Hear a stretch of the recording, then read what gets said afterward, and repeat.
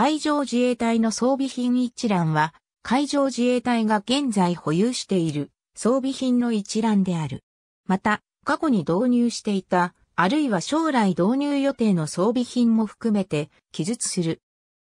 哨戒機、対戦哨戒機対役哨戒機、対戦哨戒機救難機対役救難機総会機、輸送機対役総会機、輸送機練習機、連絡機対役練習機、連絡機哨戒機、対戦哨戒機対役哨戒機、対戦哨戒機救難機対役救難機多用機、対役多用機練習機、輸送機、連絡機対役練習機、輸送機、連絡機対役艦砲対役対空誘導弾、対液対戦ロケット、誘導弾魚雷の名称には、正式名称以外に G ナンバー、開発名称の G、RX ナンバーが割り振られている。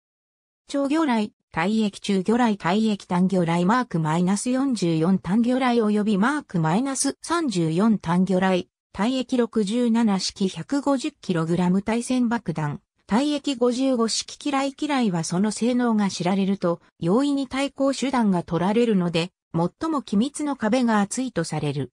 裏が型総会母艦、航空機、潜水艦によって付設される。なお、機雷の名称には正式名称以外に K ナンバーが割り振られている。そのため、下記の中には重複している可能性がある。係触発機雷体液係、艦王機雷沈底機雷上昇機雷単係、止め機雷、係機雷に含まれる場合もある。種別不明な、機雷体液総会具体液航空総会具体液、無人機、標的機、栄光標的、電子線訓練機材体液電波探知装置、体液体液体液、体液体液レーダー体液地上用通信装置、設備体液施設系車両体液施設系車両。ありがとうございます。